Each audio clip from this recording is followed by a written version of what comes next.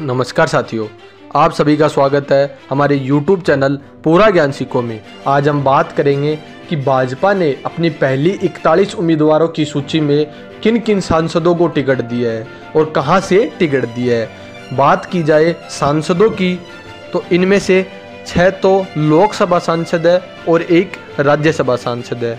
बात की जाए पहली टिकट की तो वह जोटवाड़ा से मिली है और वह उस टिकट के लिए प्रत्याशी के रूप में राज्यवर्धन सिंह राठौड़ को प्रत्याशी बनाया गया है। राज्यवर्धन सिंह राठौड़, जो कि वर्तमान में जयपुर ग्रामीण सीट से लोकसभा सांसद है। अगली सीट विद्याधर नगर, जहाँ से दिया कुमारी को टिकट मिला है। दिया कुमारी वर्तमान में राजसमंद से सांसद हैं और वह सीएम की प्रबल दावेदार भी माने जा रही है।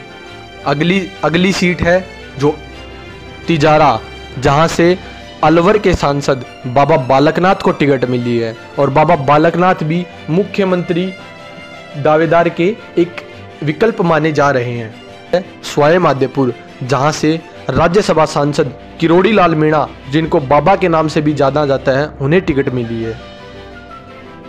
अगली सीट है किशनगढ़, यहाँ से बागीरथ चौधरी को टिकट मिला है। बागीरथ चौधरी, जो कि वर्तमान में अजमेर से सांसद हैं। अगली सीट है सांचौर जहाँ से देवजी पटेल को टिकट मिला है। मंडावा से नरेंद्र खेचड़ जो कि वर्तमान समय में झुंझुनू के सांसद हैं। तो दोस्तों आप इसी प्रकार की वीडियो देखने के लिए हमारे चैनल को प्लीज़ जाके सब्सक्राइब कर ले। धन्यवाद।